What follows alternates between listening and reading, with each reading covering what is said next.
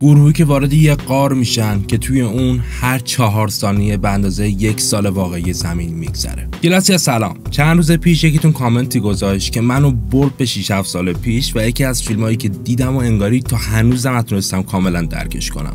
یعنی فیلم Time Trap یا تله زمان محصول سال 2017 فیلمی که با بودجه کلا یک میلیون دلاری ساخته شد و همه رو شگفت زده کرد خاطر اینکه واقعا خفن در اومدش. بریم ما هم ببینیمش. آخر فیلم هم بررسی میکنیمش و این مقدار درکش سخته. حواستون به spoil کامل صحنه‌های خشنش هم باشه. با شروع فیلم مردی به نام هاپر رو می‌بینیم که استاد باستان شناسیه و توی جنگلی داره دنبال چیزی میگرده. یه رفت ماشین ونی می‌بینه که این وسط رها شده و یه کتاب هم داخلش که برش میداره. توی اون عکس هایی از یه رودخونه هست که تمام دردها و مشکلات رو می‌تونه درمان بکنه. می‌فهمیم که هاپر هم اومده اینجا تا دنبال یه گروه از آدمای هیپی بگرده که مطمئنا به این محل اومدن و بعد از اون هیچ کس نریدتشون. انگاری کلا نیست و نابود شدن. هاپر یه سگ هم داره که همراهش اومده و یه رفته سگ شروع به صدا در آوردن می‌کنه که انگار از چیزی ترسیده.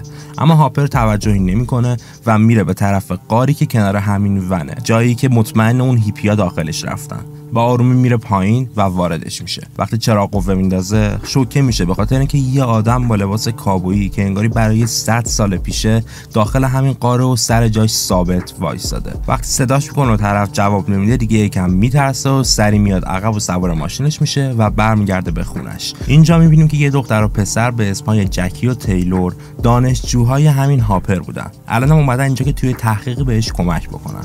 جکی می‌پرسه که چی شد؟ نتیجه گرفتی؟ و هاپر میگه که خیلی قضیه خطرناکتر از چیزی که فکر می‌کردم. برای همینم شما همینجا بمونید خودم تنها میرم و زود برمیگردم.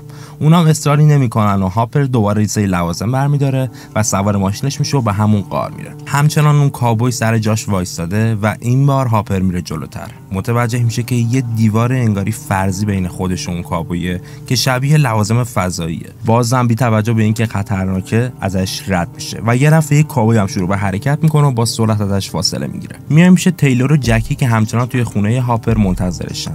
دو روز از زمانی که تو غار رفته گذشته و هیچ خبری ازش نشنیدن برای همین هم تصمیم می‌گیرن که برن دنبال هاپر بگردن. ولی خب فاصله اینجا تا مکانی که هاپر قرار بوده بره خیلی زیاده و نیاز ماشین دارن. برای همین هم مجبور میشن از یه دختری که همسایه است کمک بگیرن. دختری به اسم کارا. بهش زنگ می‌زنن و خب اونم ماشین پدرش رو قرض می‌گیره و میره دنبالشون. خواهرش ویوزم با خودش به اونجا میاره. وقتی که می‌رسن هم یه سری دروبین و لوازم همراهشونه که جکی و تیلور می‌فهمن اینا می‌خوان همه چیز فیلم بگیرن. از اون طرف یه پسر دیگه هم به اسم فربی هست که دوست ویوزه و خب اونم مجبور میشن سوارش کنن به خاطر اصرار و پنج به سمت قار میرن. وقتی می‌رسن هم همون ون دور افتاده رو میبیننش و میرن داخل شروع به گشتنش می‌کنن.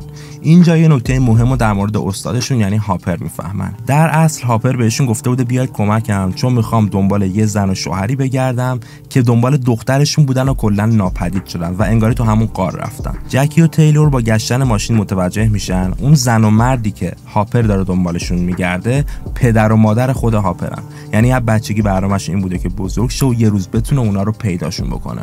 چون بدون هیچ دلیل و حرفی یه رفیق غیبشون زده بوده. نامه ای هم که تو این ماشین هست نوشته که این زن و مرد یعنی پدر و مادر هاپر به این قار اومدن تا دنبال رودخونه جوانی بگردن. رودخونه ای که اگه بهش وارد بشی می‌تونه تمام بیماری ها و مشکلات رو علاج بکنه. شروع به گشتن اطراف قار می‌کنن و یه تناب رو زمین می‌بینن که انگاری سالهاست اینجا افتاده و دیگه پوسیده. دنبالش می‌کنن و از یه طرف دیگه قار میرن داخل. یکم جلوتر که میرن متوجه میشن شیب خیلی زیادی داره و مجبور میشن برگردن تا با تجهیزات کامل و تناب برن پایین. کارا و خواهرش ویوزم می‌خوان همراهشون بیان و پسر کوچیکمون یعنی فربی که از تاریکی میترسه اون بیرون میمونه که اگه کمک خواستن بیاد دنبالشون. در حالی که دارن از این دره میرن پایین دوباره به همون دیوار فرضی می‌رسن که انگاری قار رو از دنیای بیرون جدا می‌کنه. وقتی که اول از همه جکی ازش میسره به تیلور میگه که اینجا اصلا دما فرق کرده کاری کل دنیا عوض شده. ولی تیلور بی توجه بهش میاد پایین. بالاخره به یه سطح صاف می‌رسن. یه سر میایم پیش هاپر. همون دو روز پیش که وارد قار شدهش یکم میره جلوتر و یه دفعه صدای فریاد کشیدن چند نفر رو جیغ یه دختر رو میشنوه. انقدر وحشت زده میشه که سری پا به فرار می‌ذاره می‌ذاره و میاد نزدیک همون در ورودی. به شکل عجیبی انگاری یه نفر بیرون قار یه چراغ گذاشته و داره تونتون خاموش روشنش می‌کنه.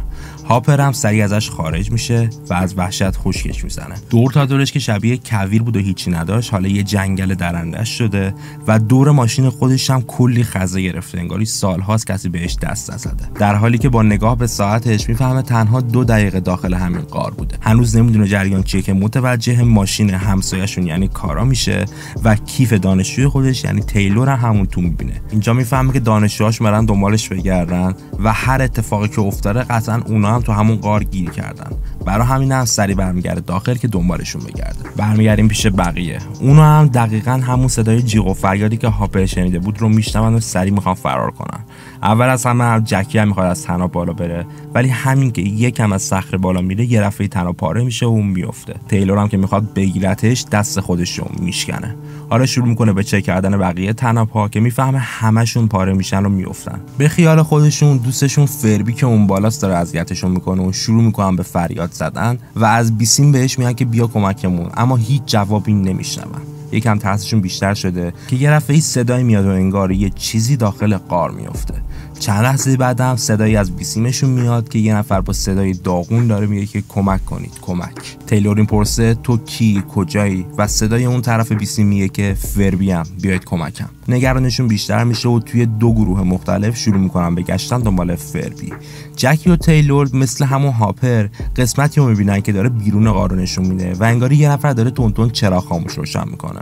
و خب تیلور بازم فکر می‌کنه که فربی داره اذیتشون می‌کنه و میگه دستم بهش برسه دهنش رو سرویس می‌کنه بیشتر میگردن و خب واقعا هم دستشون به فربی می‌رسه. منتها فربی که افتاده پایین قار و به شدت آسیب دیده. نکته وحشتناک اینجاست که معلوم فربی وقتی افتاده گردنش شکسته ولی خب زنده مونده و بعد از اون انگاری یه سری بهش حمله کردن و صورتش پر جای دندون و زخمه که انگاری داشتن گوشتشو میخوردن. نگاه تیلور هم به تنابی میفته که فربی می‌خواسته استفاده کنه و اونم مثل تناب های دیگه پاره شده.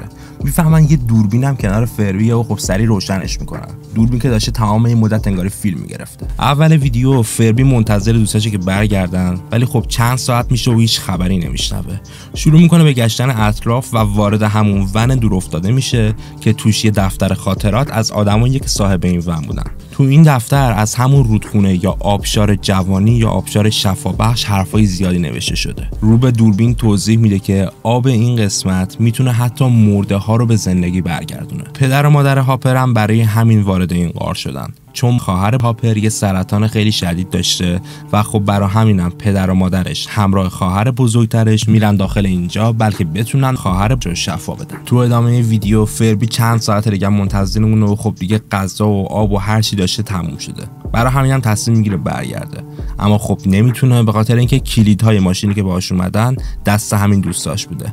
مجبور میشه بیاد داخل قار کمکشون و همین که می‌خواد با تناب بیاد طبق معمول تناب اونم پاره میشه و میفته توی این فیلم وقتی از قسمتی میگذره بیرون انگاری همون مثل بقیه یه نفر داره چراغ خاموش روشن می‌کنه که خب حالا می‌فهمن این چراغ نیستش رنگ آسمونه که داره مدام عوض میشه. هنوز فیلم تموم نشده. می‌فهمن صدای افتادنی که شنیدن برای همین دوستشون فربی بوده. فربی همچنان زنده و فقط گردنش شکسته که وقتی می‌خواد با بیسیم به دوستاش بگه بیان کمکش چند نفر صداشو میشنون. چند لحظه بعد انسانهای نخستینی می‌بینیم که توی همین قارن و میان سمتش و شروع می‌کنن به خوردن گوشت و پوست فربی. بقیه با دیدن فیلم خیلی بیشتر از قبل میترسن و نمی‌دونن چیکار کنن. کارا که خب همشون سبکتره تصمیم می‌گیره که بره بالا بلکه بتونه از دیگران کمک بگیره.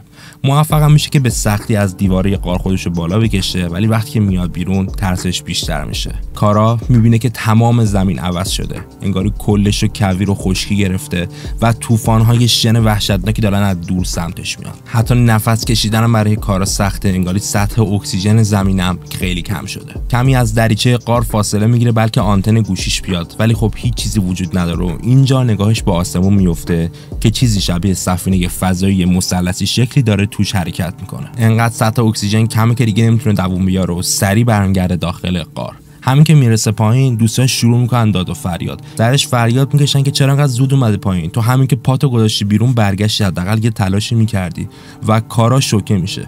میگه من الان قشنگ نیم ساعت اون بیرونم و برای اثباتش هم گوشیشو نشون میده که سی دقیقه گذشته. خیلی جریان پیچیده شده. چون برای بقیه ساعتشون حتی یک ثانیه هم حرکت نکرده که کارا برگشته داخل. برای اثبات حرفش دوربینشو در میاره و نشون میده که بیرون چه اتفاقهایی افتاده. زمین خوش شده طوفان‌های شن و حتی سفینه فضایی هم توش معلومه. تیلور اولین کسی که می‌فهمه جریان چیه. توضیح میده که اون بیرون کسی چراغ خاموش روشن نمی‌کنه. این خورشیده که داره هر سری دور ما میچرخه و هر یه باری که خاموش روشن میشه یه روز کامل میگذره. برای همین هم است که همه تنابا پاره شدن. چون شاید سه چهار سال از زمان فرود ما به اینجا گذشته و خب تناب ها پوسیدن. اما ویوز یه نکته دیگه اینو می‌فهمه. دوباره فیلمی که فربی گرفته بود و نشون میده و میگه که نگاه کنید هر باری که آسمون رنگش عوض میشه یه بار خیلی تیره است و یه بار خیلی روشنه. اصلا روز و شب نداره. این یعنی چی؟ یه نکته خیلی مهمتر رو می‌فهمن. هر باری که انگاری داره چراغ خاموش روشن میشه یه روز نمیگذره بلکه یه سال کامل میگذره. اون هوایی که گرفته و یکم تاریکتره به معنی زمستون و هوایی روشن به معنی تابستون و بهاره. کارا بعد چند سال که دوباره تصمیم می‌گیره بره بالا چون می‌فهمه اصلا نباید این پایین بمونن. و همین که می‌خواد این کار رو انجام بده یه وسیله فضایی از بالا به پایین قار میادش. بعدم موجودی شبیه آدم فضایی ها از همون چوب که حالا تبدیل به نردبون شده خودشو میاره پایین. بلکه سریع ازش می‌گیرن و همین که طرف به پایین می‌رسه می‌بینیم که همون انسان های نخستین پیداشون میشه و بهش حمله می‌کنن. این آدم فضایی هم با وسیله که از جیبش در میاره موفق میشه گردن اونو ببنده و جلوی حملش رو بگیره. تیلور رو بقیه بچه هم شروع به فرار می‌کنن و بعد مدتی به یه نفر دیگه می‌رسن که رو زمین افتاده و قارنشین ها دارن گوشت و پوستشون می‌خورن. این همون کابوی هست که هاپر موقع ورود به قار دیده بود. انسان های نخستین هم متوجه تیلور رو بقیه میشن و حالا میافتن دنبال اونا. تیلور برای اینکه جون بقیه رو نجات بده عقب میمونه و شروع می‌کنه به مبارزه با انسانهای نخستین. ولی خب اونا قدرت خیلی بیشتری دارن و نه تنها تیلور رو میندازن زمین رو خوردش می‌کنن بلکه گوشتش هم می‌خورن. کارا که یه گوشه قایم شده بعد رفتن انسانهای نخستین سری میاد پیش تیلور رو با وحشت رو تو بغلش می‌گیره. لحظات بعدم هم همون آدم فضایی به اینجا میاد و دیگه کارا جونی نداره که بخواد فرار بکنه. اما این آدم فضایی نمی‌خواد بهشون آسیب بزنه. پای تیلور رو می‌گیره و اونو می‌بره به کناره همین قسمت که شبیه یه حوض کوچیک آبه. همین که میرزتش داخل تیلور یهو زنده میشه و از جاش بلند میشه. این قسمتی از همون حوض جوانیه. انسانای نخستین دوباره سر می‌رسن و این بار به آدم فضایی حمله می‌کنن و موفق میشن بعد برداشتن ماسکش اونو زمین بزنن. می‌فهمیم اون آدم فضایی نیست بلکه یه آدم معمولیه. فقط انگار یه نسل خیلی پیشرفته تر انسان ها اومده. کارا و تیلور هم که فهمیدن اون یکی از خودشونه و حالا بهش کمک می‌کنن و موفق میشن که انسان های نخستین رو مثل همون اولیه به زمین ببندن. اما این آدم پیشرفته همچنان انگاری حالش خوب نیست و نمی‌تونه نفس بکشه. شبیه یه ماهی شده که از آب بیرونش آوردن. انگاری انسان های پیشرفته نمی‌تونن از اکسیژن استفاده کنن و کلا به دمای زمین و چیزهای داخلش عادت ندارن. دو تا دختر دیگه یعنی جکی و خواهرش ویوز هم سر می‌رسن و خب تازه می‌فهمن جریان چیه. وقتی می‌خوان کمک آدم پیشرفته کنن از غار ببرنش بیرون میگه نمی‌خواد. من نمی‌خوام اینجا برم بیرون. همین که اومدم اینجا الان هزاران سال گذشته و من تمام خانواده و دوستامو از دست دادم. دیگه دوست ندارم اون بیرون بمونم و بذارید همینجا کارم تموم شه. قبل از اینکه آخرین نفسش هم بکشه عجیبش یه وسیله تکنولوژی فضایی در میاره که با فعال شدنش یه سری اخبار جلوی بقیه نمایش داده میشه. تو این اخبار دارن از گم شدن همین چهار نفر همراه استادشون هاپر صحبت می‌کنن. انگاری سالهای زیادی آدمها دنبالشون میگشتن ولی خب هیچ کس پیداشون نکرده. تو ادامه اخبار گفته میشه که زمین داره نابود میشه. اکسیژنش کم شده. دیگه گرمای کافی نداره و کلا زندگی توش امکان پذیر نیست. انسان ها زندگی توی مریخ رو می‌تونن به دست بیارن و یه تعداد زیادی ازشون توسط یه سفینه فضایی به مریخ میرن. یه سفینه مثلث شکل بین زمین و مریخی که ارتباطات بین این دو تا سیاره رو انجام میده و همون چیزی هست که کارا موقع خروج از قار دیده بود. ادامه اخبارم گفته میشه که انسان ها یه جریدی که به دنیا اومدن خیلی بدنشون ضعیف تره حتی به اکسیژن حساسیت دارن و خلاص خیلی حالشون داغونه برای همینم هم همچنان دنبال گروه تیلور و بقیه بچه‌ها. بلکه بتونن زنده اونا رو از قار بیرون بکشن و با استفاده از تکنولوژی جدید بتونن بدن اونا رو شبیه سازی کنن و با تولید مثل اونها نسل قوی تر انسان ها رو دوباره به وجود بیارن. دیگه اخبار تموم میشه و اون آدم پیشرفته هم جونش رو از دست میده. تیلور دوباره شروع به گشتن قار می‌کنه و به قسمت خیلی عجیب تری می‌رسه. جایی که انگاری یه دیوار فرضی دیگه وجود داره و زمان حتی کندتر از همین قار میگذره. جایی که پدر و مادر هاپر دارن با آرومی توش قدم می‌زنن. بعد از اونم دوباره یه دیوار دیگه است و زمان حتی خیلی آرومتر داره میگذره. جایی که آبشار اصلی جوانی وجود داره و دور تا دورش هم آدم ها نسل های مختلف دارن با هم میجنگن. انسان های نخستین آدم های دوران کابویی آدم های دوران جنگ های صلیبی و و هزاران نسل دیگه. هاپر همینجا رو زمین افتاده و داره با نگرانی به پدر و مادرش توی لایه بعدی نگاه می‌کنه. به تیلور میگه طبیعت این قار رو جوری ساخته که هیچ آدمی نتونه از این آبشار جوانی استفاده کنه.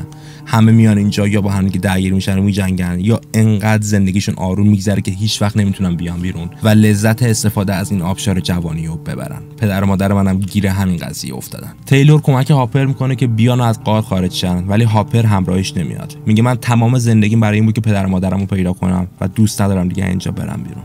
برای همینم اصرارای تیلور فایده ای نداره و بعد مدتی می‌بینیم که برمیگرده پیش بقیه و خب بدن بیجون فربی هم با خودش آورده.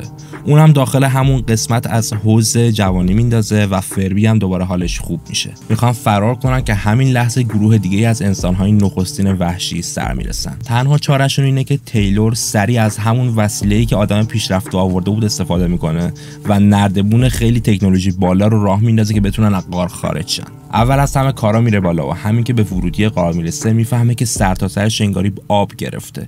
یه دفعه یه دست فضایی میاد داخل و کارا رو به زور بیرون می‌کشه. بقیه خیلی وحشت زده شدن. چون اون پایین انسانهای نخستین منتظرشونن و می‌دونن اگه بالا هم برن ممکنه همون موجود فضایی بگیرتشون و جونشون رو بگیره. اما همین لحظه کارا از بیرون قار سر می‌رسه. این بار با لباسهای خیلی پیشرفته و با کلی سلاح. موفق میشه همه دوستاشو با قدرت خیلی زیادی بکشونه بیرون. فقط به این ختم نمیشه. کارا میره پایین با قدرت خیلی زیادی انسانهای نخستین رو کنار می‌زنه.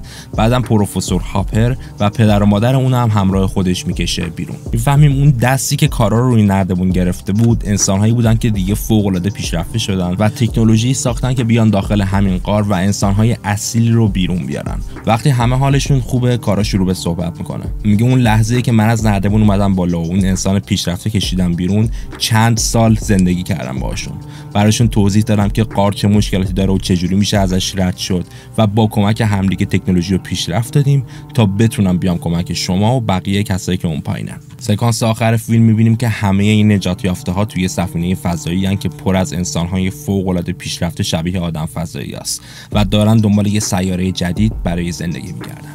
اینجاست که فیلم به پایان می‌رسه. توی این فیلم یه مقداری پلات هول یا مشکلات داستانی وجود داره که شاید خب باید بیشتر در صحبت بکنیم که بتونیم راحت تر درکش کنیم. اول از همه اینه که توی قاری که رفتیم ما یه سری انسان نخستین یا همون قارنشین ها رو دیدیم که به همه حمله می‌کردن و می‌خواستن بخورنشون. مشکلی که توی ساخت این فیلم وجود داره اینه که ما داریم قارنشین هایی رو می‌بینیم که نوعشون نئاندرتاله. کلا سبک راه رفتن سبک گیریمشون همه اینها جزو نئاندرتال ها هستش. نئاندرتال ها فقط توی آسیا آفریقا و مقداریشون هم توی اروپا دیده شدن. یعنی اینا از فسیل ها شناختن. و هیچ ناندرتال تو آمریکا نیست. انسان های نخستینی که تو آمریکا بودن یه مدل دیگه هستن که نهایتا هم به سی هزار سال قبل برمیگردن. و خب ما داریم توی این قاره تگزاس انسان های نیاندرتال رو می‌بینیم. این یه مشکل پلاتی هستش که خب کارگردان به زیاد توجهی نکرده و ازش میگذریم. اما مورد دیگه که می‌خوایم صحبت بکنیم. مشکل نیست. برای درک بهتر بخوایم ازش حرف بزنیم. اینکه چرا اون تناب ها مدام پاره می‌شدن. خب ما داریم می‌بینیم که نصف تناب بیرون از قاره و نصفیش داخلشه. خب وقتی که یه تناب نزدیک به 100 سال 200 سال همونطوری باشه میپوسه دیگه. برای همین پاره میشه. دلیلی هم که انقدر انسانهای پیشرفته طول می‌کشه تا به این قار بیان همینه. ما دیدیم که اون آدم خیلی گنده ای که تقریبا شبیه فضایی ها بود ولی از انسان های آینده بودش زمانی که اومد توی قار از یه تناب یا از نردبونی استفاده می‌کرد که فوق العاده پیشرفته و خفن بود. یعنی انسان ها انقدر طول کشیده بتونن همین چیزی رو بسازن که اگر نصفش بیرون موند و 100 سال 200 سال هم گذشت یه موقع نپوسه یه موقع خراب نشه. در نهایت هم خب اصلا دلیل اصلی که اون شخص اولمون همون هاپر رفت داخل قار چی بود؟ ما فهمیدیم که دنبال پدر و مادرش میگشت و علکی گفته بود که فقط می‌خوام برم تحقیق بکنم. می‌بینیم که این پدر و مادر دنبال دختر خودشون رفته بودن یعنی خواهر هاپر. که خب وقتی هاپر میره پایین می‌بینه که خواهرش با همون سن کم توی آخرین لایه این قار گیر افتاده. لایه‌ای که دیگه هیچ جرئت نداره بره توشون برن معلوم نیست بتونن برگردن یا نه. و جالبه هر کسی که تو این لایه آخر اومده و دنبال همین رودخونه شفا بخش بوده دارن با بقیه میجنگن. این هم دوباره همون طمع انسان ها رو خب بخواد نشون بده که با اینکه همه چی دارن از دست میدن. اون زندگی بیرون داره تموم میشه. اصلا معلوم نیست وقتی بیان بیرون زمین هنوز سالم باشه یا نه. شاید خورشید زمین رو ذوب کرده باشدش اصلا هیچی مشخص نیست. اونا بی خیال همه این چیزها دارن با هم دیگه میجنگن و فقط دنبال اینن که کدومشون بتونه این رودخونه شفا بخش رو به دست بیاره. امیدوارم خب با این چیزای خور فیلم رو بهتر درک کرده باشید بعضا یکی از بهترین هایی هست که در مورد سفر در زمان ساخته شده و خیلی بهش کم لطفی شده اونم به خاطر همین بودجه کمشه. خب با بودجه کم نتونستن بازیگرهای شناخته شده و خفنی بیارن. یه مقداری توی بازی کردن هم همین بازیگرها مشکل دارن.